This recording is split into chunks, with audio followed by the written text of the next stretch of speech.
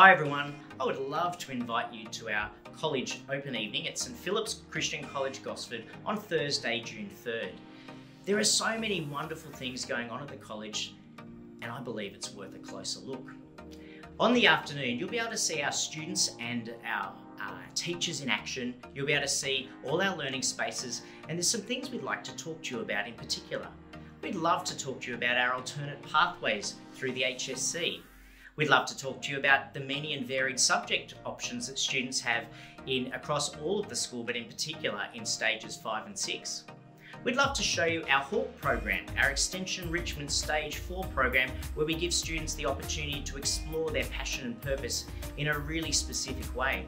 And we'd love to talk to you about our pastoral care programs, our community service programs, in fact, everything that makes this school so special.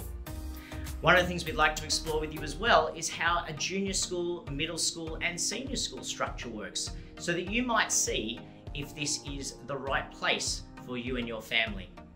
Thursday, June 3rd, a lot of great things to look forward to, and I hope to see you there.